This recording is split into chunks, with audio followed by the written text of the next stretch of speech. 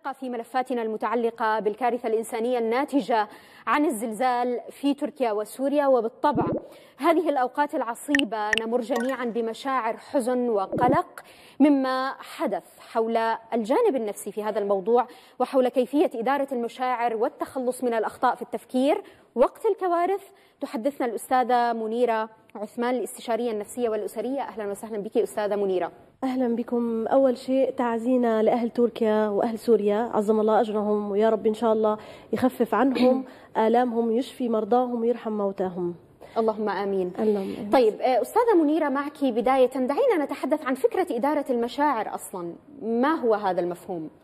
إدارة المشاعر إنه يكون عندنا الأول افهم مشاعري. لما أنا افهم مشاعري وشو هي المشاعر اللي جايتني؟ هي هي غضب؟ هل هي حزن؟ هل هي قهر؟ إحنا عندنا بالسايكولوجي عندنا دائرة المشاعر فيها مجموعة كبيرة من المشاعر. فأنا لما ابتدي أفهم مشاعري وبالتالي وأدرك مشاعري وبالتالي أعرف أعبر عنها أستطيع أن أدير هي المشاعر. ليه؟ لأن سواء كانت مشاعر سلبية أو إيجابية لما أنا بديرها فبستفيد بافضل طريقة لحتى أنا أقدر أتجاوزها سواء كانت سلبية أو حتى مشاعر إيجابية. لأن البعض لا يستطيع أن يعبر عن مشاعره. يكبتها نعم.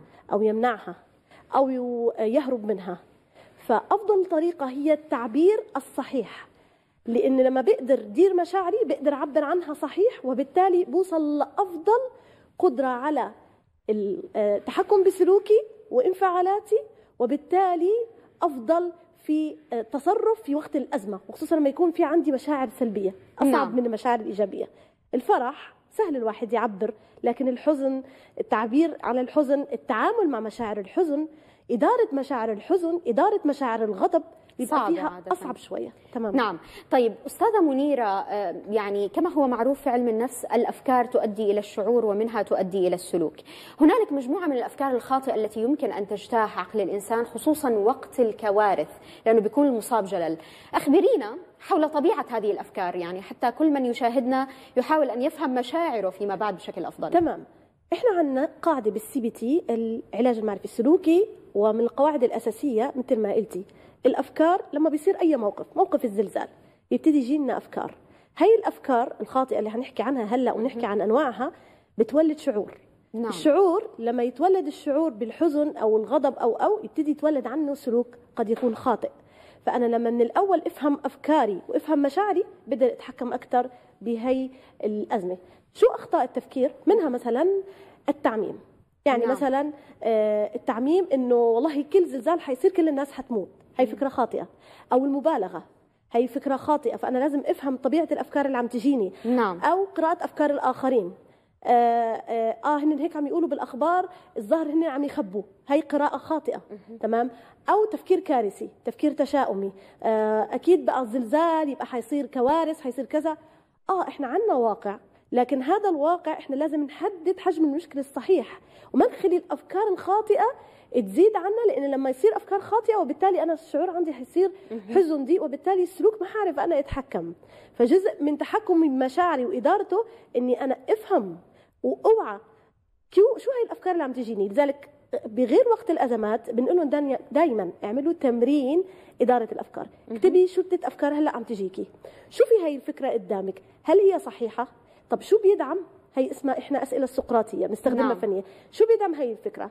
هل هي الفكرة 100% صحيحة؟ طب عكس هالفكرة شو؟ وبالتالي بصير حوار مع المخ المخ مع حاله بيبتدي يفكر ويصير حوار إيجابي. لا والله هي الفكرة مو ضروري تكون من 100% صحيحة وبالتالي هي فكرة خاطئة. طب شو البديل عنها؟ لذلك كثير أخطاء التفكير إحنا عندنا 23 خطأ من التفكير. منها التعميم منها المبالغة منها قراءة أفكار الخاطئين منها الإسقاط. كل شيء بيصير عندي اسقطوا على الآخرين. كثير أشياء من الأفكار الخاطئة اللي قد بوقت الأزمات تزود الكارثة. بدل ما أنا حاول ساعد حاول شوف حلول حل المشكلة أوعى بمشاعري أوعى بأفكاري وشوف أنا شو بقدر. بالعكس. أنا عم ساوي لود على نفسي وعلى الآخرين حتى بتضر بنفسي وبالآخرين. نعم. إذا ذكرتي خطوة أولى في مسألة إدارة المشاعر وتصحيح الأفكار أنه نكتب ماذا بعد؟ تمام. آه آه نكتب آه، قصدك أحكي عن خطوات يعني إدارة آه المشاعر. نحكي عن تمام. خطوات إدارة المشاعر. أول شيء آه يا أحباب إحنا لازم نتقبل مشاعرنا. هلا لما يقولوا لك جاي لك ضيف تقيل على قلب على قلبك مثلا حكوكي وقالوا في ضيف جاي. هذا الضيف لو انت قعدتي جواتك تقولي هذا الضيف جاي يا الله ما بدي تستقبله أنا تعبانة أنا كذا. لما بيجي قاعدة هيك قدامه متوترة ومتضايقة وبمر عليكي ل 10 دقائق 50 ساعة صح؟ لكن لما انت بيقولوا لك هذا الضيف جاي تقيل وبتقولي طب أنا حأتقبله وححاول أتعامل معه. نعم. فتقبل هون عن هون بيفرق إني أنا اولا أتقبل مشاعري. هذا بيسموه عنا بالسيكولوجي تخفيف الضغط. تخفيف ضغط هاي المشاعر.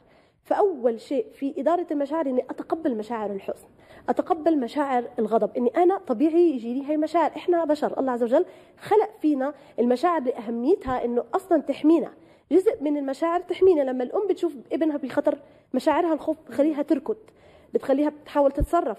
فلذلك أول شيء أنا لازم أتقبل هالمشاعر. اثنين إني أنا أستخدم التنفس الاسترخائي اللي هو أخذ النفس بعمق حتقولوا لي هلأ وقته بالأزمة؟ أنا لما بتدرب قبل الأوقات يعني قبل الأزمات تكون بين حياتي في تدريب على إدارة المشاعر لما يكون عندي أزمة صحيحة بعرف أتصرف صح. فأنا ابتدي أخذ التنفس الاسترخائي اللي هو أنا أخذ نفس عميق.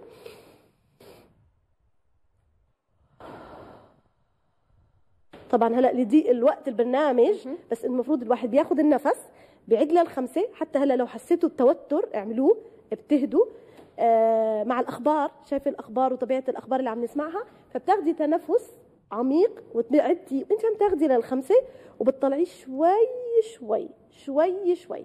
فأول شيء إدارة المشاعر إني أتقبلها اثنين إن أنا أتنفس تنفس استرخائي لحتى إهدى ثلاثة مصدر هاي المشاعر شيء شو؟ إحنا عندنا بال DBT اللي هو الأحدث من ال CBT العلاج الجدلي السلوكي بيقول لك إنه المشاعر تتولد عنها مشاعر. مم. يعني أحيانا بيكون في مشاعر أساسية. أنا شفت مثلا برنامج اتولد عني إنه شعور بالحزن. هي المشاعر الأساسية. بعد شوي قابلت ابني مثلا ما عم يدرس فغضب. بس أنا أصلا المشاعر الأساسية اللي عم تحركني على ابني بالغضب مين؟ الحزن. فهمتي علي؟ فأنا لازم أعرف سلسلة المشاعر اللي عندي شو وأعرف شو مصدر المشاعر اللي عم تضايقني. فلما أعرف مصدر الشعور أنا الأول اتقبلته هديت عرفت هذا المصدر وبالتالي ابتدي احلل طيب أنا هلأ بأزمة. زلازل حللت مشاعري عرفت شو سببها. شو أنا بكون بقدر؟ شو بقدر ساعد اللي حواليه حل المشكلات؟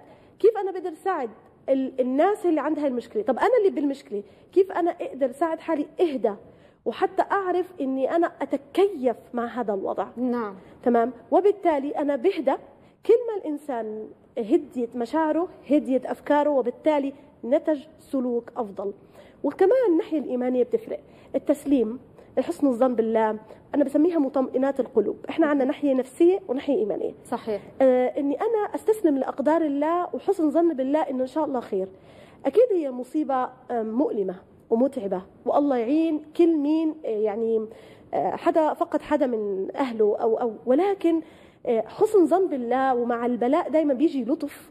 هذا استسلام لأقدار الله بيخلي القلب في سكينة فبيخلي القلب حتى يعرف يهدى يعرف يتصرف لأن إحنا عندنا في شغلة اسمها اللوزة بتعرفي اللوزة الدماغية في المخ.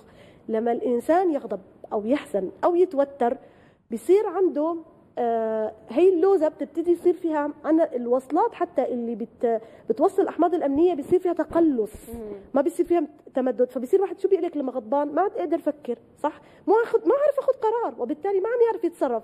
لكن لما شوي يهدى يبتدي الأكسجين ينتعش العقل يبتدي يقدر نعم. يفكر ياخذ قرار ياخذ اكشن صح يبتدي ياخذ قرار صح ما يعمل قرارات خطأ.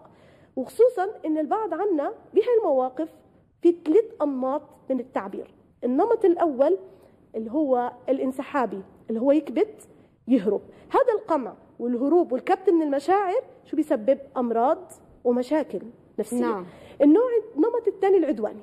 اللي هو بقى أنتوا السبب والمشكلة كذا وفهمتي علي ويطلع المشكلة السبب يعني زلزال. شو دخل فهمتي علي؟ في يعني قدر. فيبتدي يكون عدواني في تعبير عن المشاعر وبدل ما يحل المشكلة يأزم المشكلة. نعم. أما النمط الثالث وهو ال assertive اللي إحنا بنسميه بالسايكولوجي توكيد الذات وهو الإيجابي وهو التوكيدي.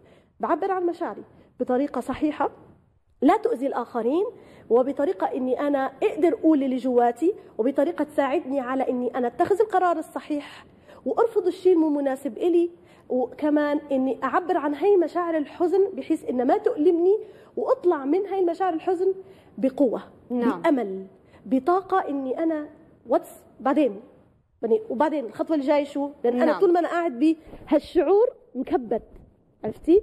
حاطط حالي بدائرة هذا الشعور والألم قاعد مكبت مغل... مثل القيود مسكرني مو مخليني أعرف أتصرف نعم. عرفتي؟ بس فهي أهم الخطوات. وطبعا مثل ما قلنا التسليم أمن يجيب المضطر إذا دعاه التسليم الامر الله حسن الظن بالله الدعاء إنه يرفع البلاء. امور تخفف بالفعل. تمام. الصدقة ما شاء الله على أهل تركيا المسجات كلها عم تجي إنه كيف نساعده بالشام. هذا كله بيساعد الإنسان يحاول عم يعمل شيء يعبر عن هي الطاقة اللي جواته بالألم والحزن. يعني حقيقة شكرا جزيلا للأستاذة منيرة عثمان الاستشارية النفسية والاجتماعية واختصاصية تعديل السلوك على هذه المعلومات.